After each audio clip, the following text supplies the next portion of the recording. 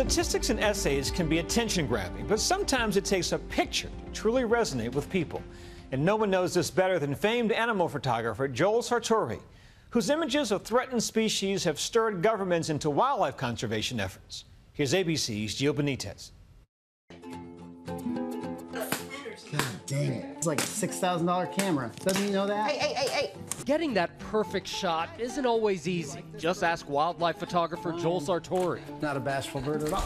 Ow! That'll work. There. See how it all fits? It's getting through. Yeah.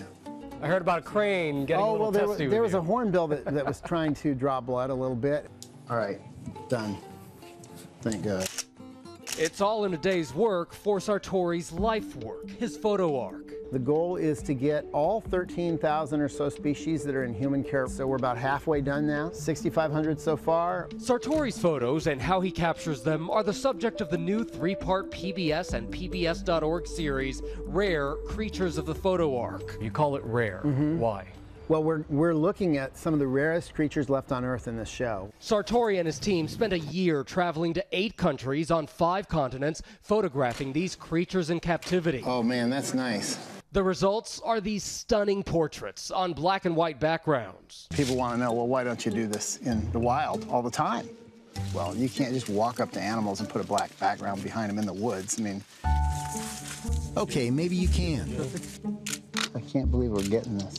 How long does it take you to photograph each one of these species? If it's a bigger animal, we generally have more time. We maybe have a half hour or so. We're generally good till the meat runs out. With birds, smaller animals in these little shooting tents, maybe it's a 30 second or a one minute deal. Some of Sartore's images have gone viral. In 2015, even projected onto major world landmarks like the Vatican and the Empire State Building. So right now you're shopping. I am, I'm shopping. We met Sartore at the Bronx Zoo in New York, where he hopes to shoot one day for his ark. A lot of people will say, wait a minute, this is about having animals in captivity. But you really see zoos and zookeepers as heroes. Oh yeah, zoos are heroes, and the people that work there, for sure. Zoos really are conservation centers. For many of the species that I photograph, they only exist in zoos now. They're extinct in the wild. According to a new study by the National Academy of Sciences, Earth is on the brink of its sixth mass extinction. Nearly 200 species have vanished just in the past century, a rate of about two per year. We are on track to lose half of all species by 2100, if not Half. more. Half.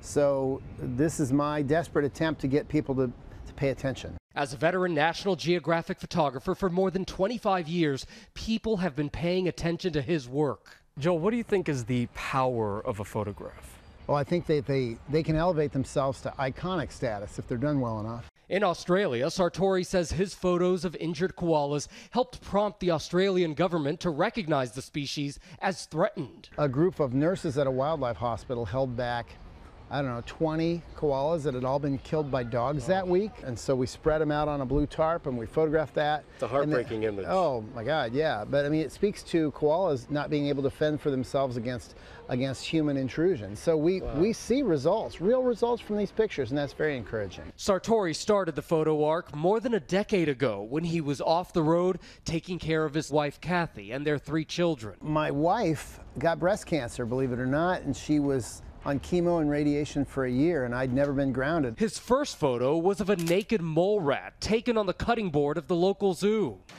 You ready? Yeah, we're ready. All right.